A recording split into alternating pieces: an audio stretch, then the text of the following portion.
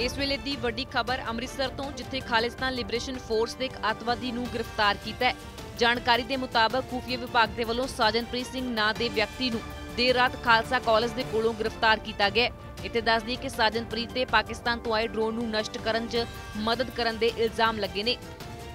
ਅੰਮ੍ਰਿਤਸਰ ਤੋਂ ਸਿਕੰਦਰ ਪਸਰੀਚਾ, ਦੈਨਿਕ ਸਵੇਰਾ ਟੀਵੀ